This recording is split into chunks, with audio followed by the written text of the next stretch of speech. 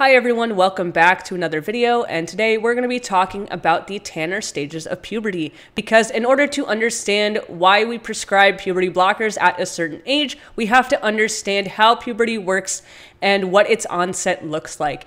And puberty looks very different um, depending on if you're assigned male or assigned female, but the stages are largely similar.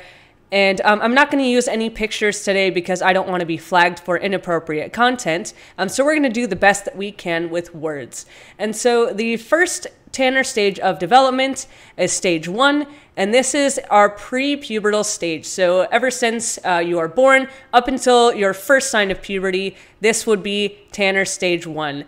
And in both those assigned male and assigned female, um, you'd have no pubic hair. Um, in those assigned female, they're going to have a flat chest. And in those assigned male, um, their penis and testes are going to be small and not super well developed yet.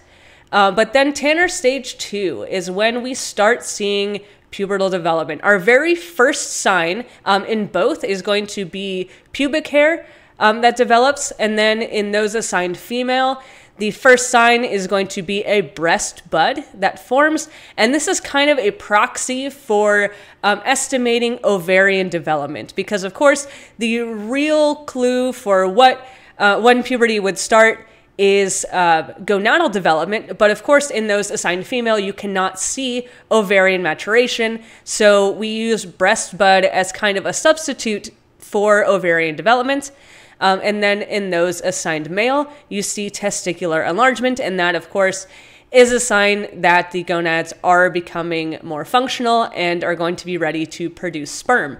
And this stage happens typically between ages 8 and 11 and a half years. Um, these numbers can be different depending on individual, but on average, this is where we would see it. Some people fall earlier, some people fall later, and that is just okay. Um, stage three, we're going to see pubic hair develop further and it's going to become more coarse in consistency for both those assigned female and those assigned male. Um, and then in those that are assigned female, their breasts are going to enlarge further. And then in assigned males, they're going to have increased penile length at this stage. And this is going to be anywhere from um, 11 and a half years to about 13 years.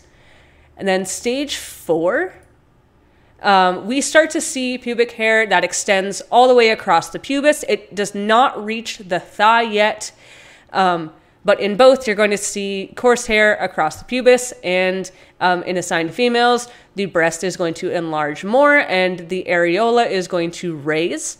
And then in those assigned male, the penile width is going to increase, and this happens around 13 uh, to about 15 years of age. And then finally, we have stage five, um, where the pubic hair extends now to the medial thigh in both those assigned male and assigned female. Um, in assigned females, the breast now has an adult contour and the areola becomes flat. And this is kind of how you know when a, an assigned female has finished their pubertal development. Um, and then in assigned males, the penis and testes are going to be their adult size.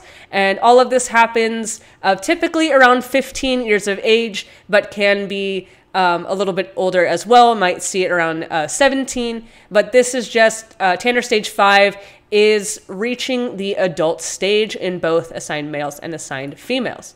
So I hope that this made a lot of sense. And next video, we're going to be talking more about puberty blockers and um, what age you can prescribe them at. Um, so with that being said, please uh, leave a like on this video, leave your comments and questions down below.